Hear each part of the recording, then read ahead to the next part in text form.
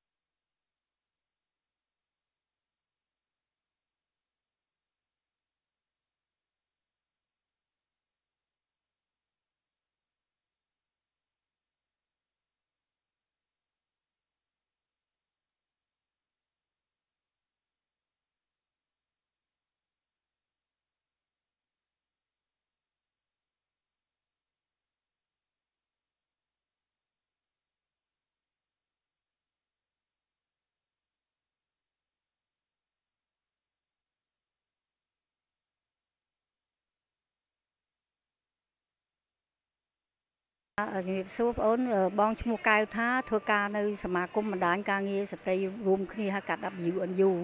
ហហើយបងតំណាងឲ្យសតិថ្នាក់ជាតិនៅជុំវិញទីក្រុងភ្នំពេញហើយនឹង10ខេត្តក្រុងដែលបងធ្វើការរាល់ថ្ងៃហ្នឹងចាតាមរយៈការធ្វើការនៅក្នុងរាជធានីភ្នំពេញក៏ដូចជា10ខេត្តក្រុងដែលបានធ្វើការកន្លងមកនេះតើ ឃើញជួបប្រទះនៅបញ្ហាអីខ្លះដែលគាត់ការដែលយើងធ្វើការហ្នឹងយើងឃើញជួបប្រទះដោយថាអ្នករប្រកបបរស៊ីផ្លូវភេទតាមសួនហ្នឹងជួបប្រទះនឹងការបលិសចោះចាប់ចោះចាប់ពួកគាត់ហើយប្រើអំពើហិង្សាវាយដំលើគាត់អីចឹងអញ្ចឹងក្នុងមួយខែមួយខែយើងមានករណីរបស់យើងសរសេរទុកនៅពេលដែលចាប់អញ្ចឹងយើងសួរថា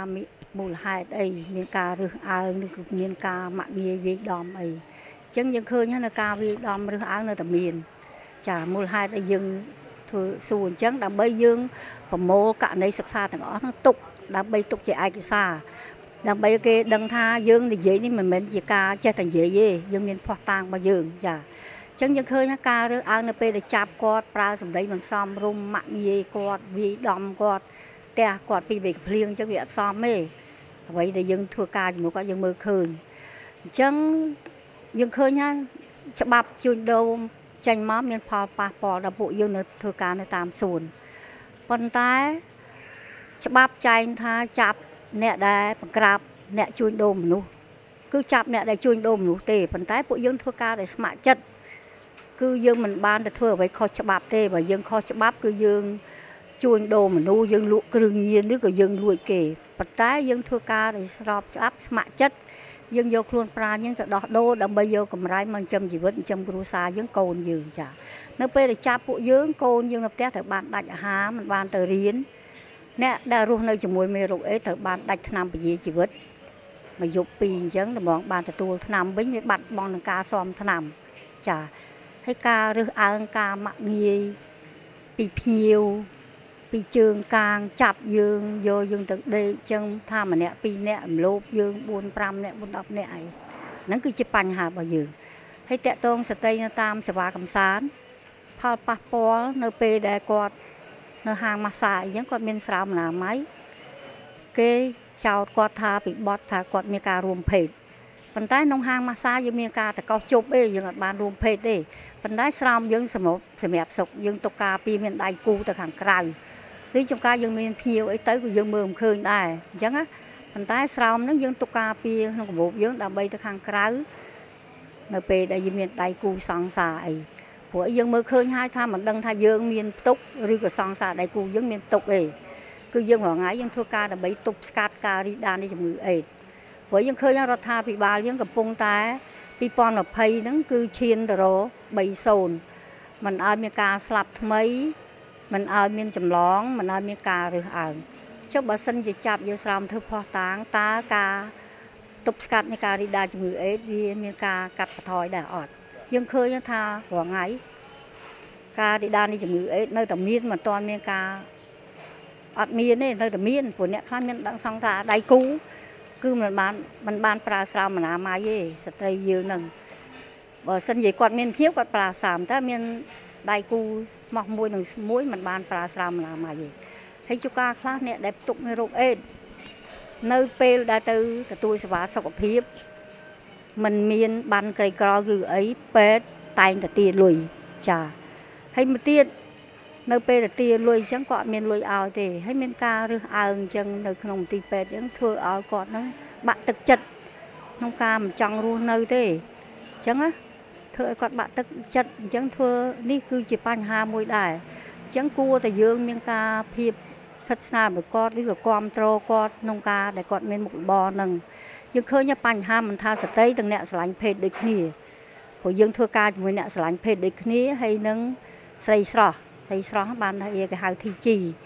ប៉ុន្តែការរើសអើងនៅតែមានហៅខ្ទើយពួកមីខ្ទើយធ្វើឲ្យខូចសង្គមឬក៏អីអីក៏អស់ហ្នឹងវាមិនសមទេព្រោះអីបិទតែគាត់ ជាមនុស្សប្រភេទបែបហ្នឹងមែនក៏គាត់មានសិទ្ធិជាមនុស្សដែរគួរតែគម្រើសអើងគាត់ឲ្យតម្លៃគាត់ដោយប្រជាជនដទៃដែរចឹងហើយបានជាយើងខំធ្វើការរួមគ្នាទាំងអស់គ្នាដើម្បីកាត់បន្ថយការរំលោភសិទ្ធិមនុស្សការរើសអើងអំពើហិង្សាគ្រប់រូបភាពទាំងអស់នៅក្នុងសង្គមយើងចាឃើញឃើញថាប្រមាណភាគរយដែលទទួលរងនៅការចឹងអមថា10 10ចឹងនៅមាន3ចឹងណា ពីមុន10ចឹងមិនមាន8មានអីប៉ុន្តែឥឡូវសល់3ប៉ុន្តែយើងនៅនិយាយនៅតែស្រែកទៀមទាអញ្ចឹងដើម្បីឲ្យកាត់បន្ថយឲ្យអស់ហ្នឹងអញ្ចឹងអញ្ចឹងយើងឃើញមានការកាត់បន្ថយការចោះចាប់ចោះអីហ្នឹងពីមុនចាប់អញ្ចឹងយកលុយយករបស់របរយកទូរស័ព្ទយកអីអីអីយើងខំស្រែកទៀមទៀមទាប៉ុន្តែឥឡូវមានការកាត់បន្ថយប៉ុន្តែនៅមានការប្រើអំពើហិង្សា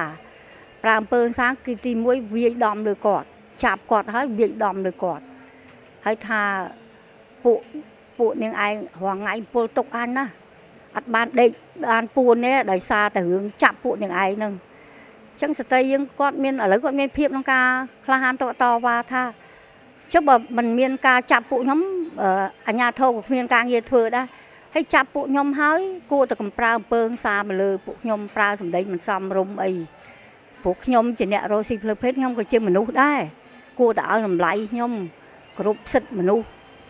អ្នករស់ស៊ីផ្លូវភេទផងហ្នឹងគឺយើងនៅទីមទីអញ្ចឹងព្រោះឥឡូវយើងឃើញថាកាត់បន្ថយប៉ុន្តែ10នៅសល់3អញ្ចឹងបាយការប្រហែលថ្ងៃនេះមានការចាប់ឲ្យប្រើអំពើហិង្សាវាយគាត់អញ្ចឹងបានជាថ្ងៃនេះខ្ញុំមកចូលរួមខ្ញុំលើកនិយាយទៀតបើសិនមិនមានខ្ញុំអត់និយាយទេប៉ុន្តែបើករណីសិក្សាដែលខ្ញុំយកនៅតែមានខ្ញុំលើក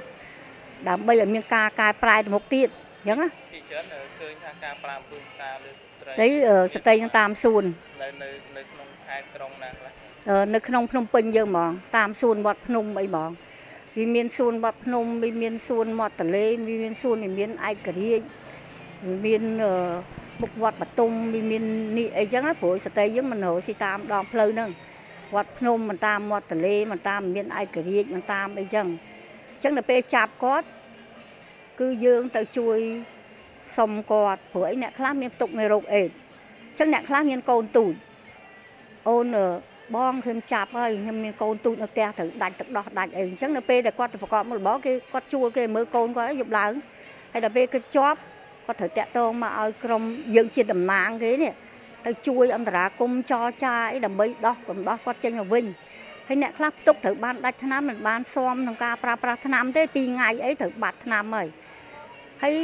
សម្ដីរើសអើងនៅតែមានជុំបកើតអីខំរោស៊ីផ្លូវភេទអីទៀត យើងមិនបានទួលទទួលក្នុងការលាក់ការសម្ងាត់ទេតើយើងប្រាប់គេថាយើងទុកបានគេគេគេដោះលែងយើងមែនទេហើយយើងយើងក្នុងនាមយើងជាអ្នកទុកយើងត្រូវការលាក់ការសម្ងាត់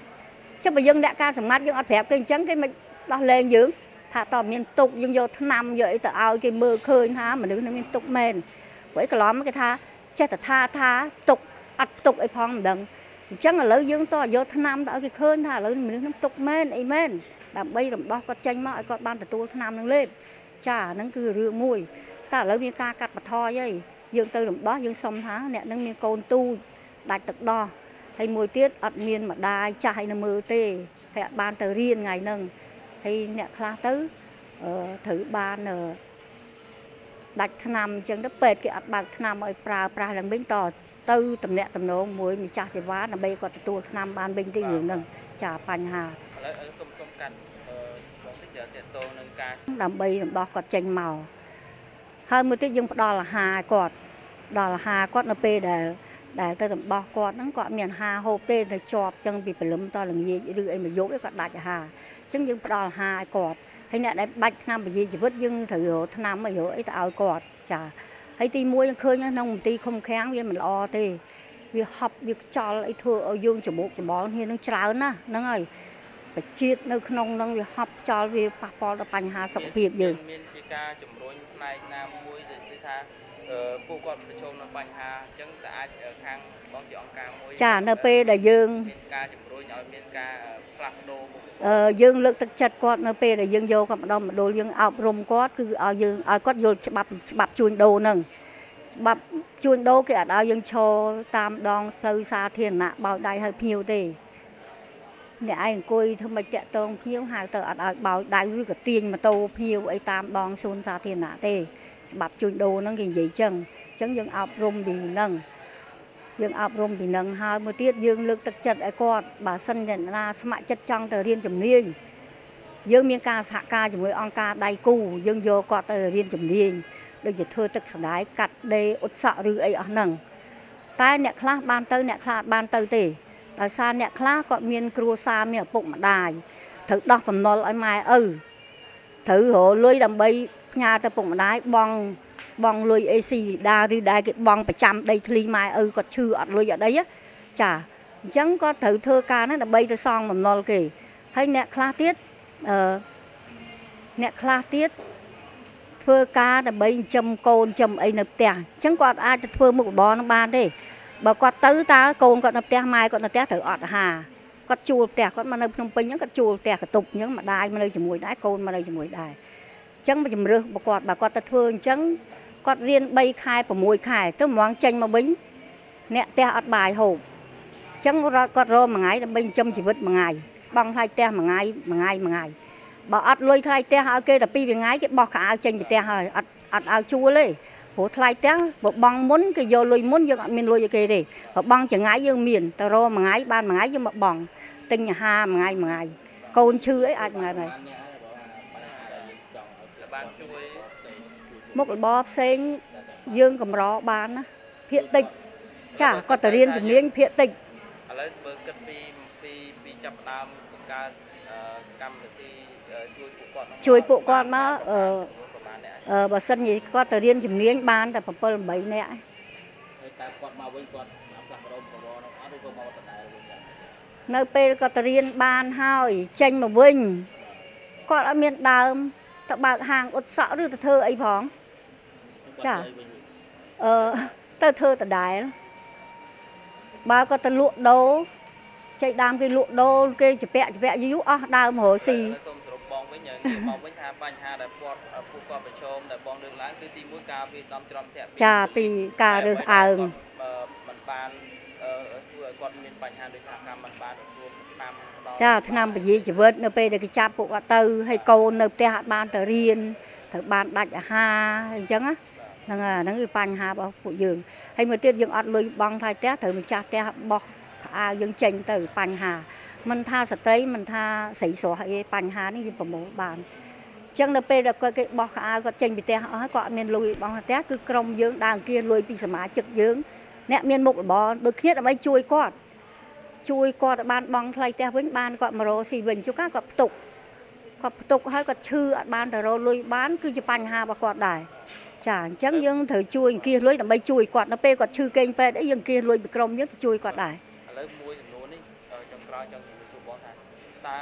អង្គការមានជាវិធីសាស្ត្រយ៉ាងណាដើម្បីជួយពួកគាត់បើយើងផ្ដល់ជាជាជាការលើកទឹកចិត្តផ្ដល់ជាការងារឲ្យគាត់នៅងាកមករកមុខរបរចឹងដែរតើអង្គការគួរទៅឲ្យគាត់នៅបន្តចឹងទៀតឬយើងត្រូវមានវិធីអឺចាយើងឃើញហើយថាបញ្ហារបស់គាត់ចឹងគឺគាត់មកប្រកបមុខរបរវិញអញ្ចឹងជំរឿសរបស់យើងគឺតែមានតែទៀមទាទៀមទាថាឲ្យមានការគោរពសិទ្ធិមនុស្សរបស់អ្នករស់ស៊ីផ្លូវភេទព្រោះអី សិទ្ធិរបស់គាត់ក្នុងការគាត់មុខរបរខ្ញុំខាងអង្គការមិនអាចមានសិទ្ធិថាអ្នកឯងត្រូវឈប់ធ្វើប្រកបមុខរបរទេព្រោះអីខាងអង្គការអត់មានលុយទៅឧបត្ថម្ភគាត់ទៅជួយគាត់ទេ